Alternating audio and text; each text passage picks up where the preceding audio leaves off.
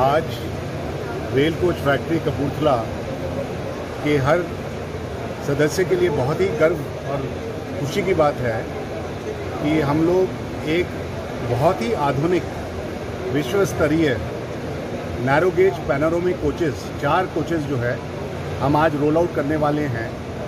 और ये कोचेस हम लोग कालका शिमला सेक्शन में ऑसलेशन ट्रायल्स के लिए भेजने वाले हैं। ये पूरा काम जो है हमारे माननीय प्रधानमंत्री जी, जो कि हमेशा मेक इन इंडिया पे स्ट्रेस करते हैं, उसी के तहत ये हुआ है काम। और मात्र दो साल के अंदर नैरोगेज का, नई कोचेस का डिज़ाइन रेल कोच फैक्ट्री ने बनाया है।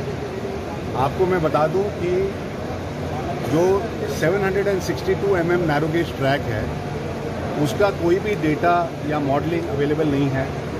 और जो पुरानी कोचेस जो नैरोगेज की रन कर रही हैं, वो करीब 1908 की हैं। तो 100 साल पुरानी कोचेस का हमारे पास कोई डिज़ाइन नहीं था, कोई टेक्निकल डॉक्यूमेंट नहीं था स्पेसिफिकेशन नहीं था। और हमारी रेल कोच फैक्ट्री ने बिल्कुल ही फ़र्स्ट प्रिंसिपल से पूरी मॉडलिंग की और मॉडल करके पूरा डिज़ाइन किया। डिज़ाइन करके हर तरह के उसकी टेस्टिंग जैसे स्ट्रेस टेस्टिंग करवाई। और दो शेल्स को बनाया पहले। उनका डिटेल स्ट्रेस एनालिसिस हुआ। उसके बाद उनको ऑसोलेशन ट्रायल्स के लिए भेजा गया। कालका शिमला में दो शेल्स को का ऑसोलेशन ट्रायल के रिज़ल्ट बहुत ही बढ़िया थे। और उसके बाद जो है हमने फर्निशिंग की चार कोचेज़ की। चार अलग अलग टाइप की कोचेज़ बनाई गई हैं। उनकी फर्निशिंग कर दी गई है। और अब हम इनको कालका शिमला भेज रहे हैं। वहाँ पे इनके डिटेल्ड ऑसोलेशन ट्रायल्स होंगे। और एक बार वो ऑसोलेशन ट्रायल सक्सेसफुल हुए, उसके बाद हम 26 और कोच बनाने वाले हैं। और हमें पूरी उम्मीद है कि जल्द ही जल्द विश्व स्तरीय एक ट्रेन साठ डिब्बों की ट्रेन कालका और शिमला के बीच में, जो कि एक हेरिटेज रेलवे है वर्ल्ड हेरिटेज रेलवे है, उसमें रन करनी शुरू करें। की नई नई फैसिलिटीज़ दी गई हैं। सबसे पहले तो जो माउंटेन की सीनरी है, उसको देखने के लिए पैनोरोमिक विंडोज़ जो ऊपर तक की हैं उनको प्रोवाइड किया गया है। कोई भी पैसेंजर जो है, भरपूर आनंद ले सकता है माउंटेन सीनरी की।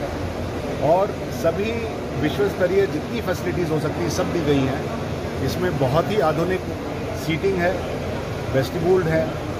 इसमें एयर कंडीशनिंग के लिए अलग से पावर कार दी गई है, पहली बार बनी है ऐसी पावर कार और इसमें पीए सिस्टम है सीसीटीवी का प्रोविज़न है।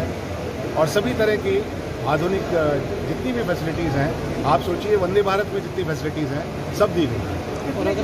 तैयार की गई कितने कोचेज उसमें तैयार के लिए क्या क्या कैटेगराइज हमने अभी चार कोच तैयार किए हैं इसमें चार तरह के कोच होंगे। एक तो होगा एग्जेक्टिव एसी कोच जिसमें 12 सीट्स होंगे। फिर उसके बाद होगा एक जनरल एसी कोच जिसमें 24 सीट होंगे। और एक होगा ऑर्डनरी जो सेकंड क्लास कोच उसमें 30 सीट्स होंगे।